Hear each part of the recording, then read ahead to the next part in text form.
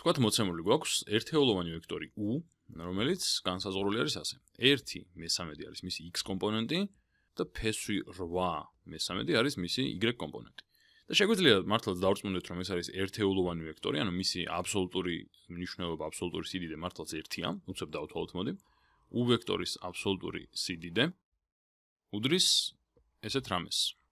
უდრის კვადრატულ p-ს პირველი კომპონენტის კვადრატს, ანუ 1 მესამედის კვადრატს დამატებული მეორე კომპონენტის კვადრატიდან, ანუ დამატებული მეორე კომპონენტის კვადრატი, აი აქედან ფესვს. ეხლა უცებ ნახოთ ესენი რა იქნება. ესე იგი, მაქვს ფესვი, ამის კვადრატი 1 მეცხრედი, ამის კვადრატი არის 8 მეცხრედი, ხო? დამატებული 8 მეცხრედი. ესე იგი, გამოვიდა, რომ მაქვს ფესვი 9 მეცხრედიდან, რაც უდრის ფესვს 1-დან, რაც არის 1. ანუ მართლაც u არის ერთეულოვანი ვექტორი, ხო?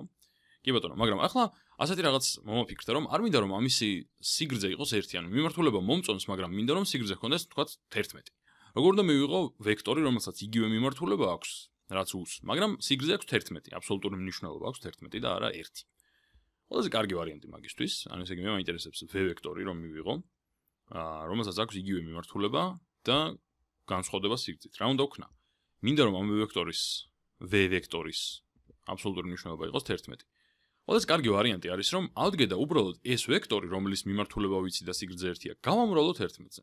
მოდი ვნახოთ რა მოხდება მაგ შემთხვევაში. ესე იგი, v ვექტორი მე ვამბობ, რომ იქნება 11 ჯერ u, ანუ 11 ჯერ 1 მესამედი და p-ში 8 მესამედი. სინამდვილეში ამ გამრავლებით მე რას ვიზამ? კომპონენტებს გავამრავლებ 11-ზე. ანუ მე კომპონენტები გამიმრავლდება 11-ზე ამ გამრავლებით. ანუ მექნება ასეთი რაღაცა. მექნება 11 ჯერ. ანუ ნუ მოკლედ პირდაპირ დავწერ 11 მესამედი, პირდაპირ დავწერ ბარემ 11 ჯერ 1 მესამედი ეგა. და აი აქ დავწერ ცოტა განსხვავებულად 11 ჯერ p-ში 8 მესამედი. აი, სხვა ფერია. 11 ჯერ p-ში 8 მესამედი. p-ში 8 მესამედი.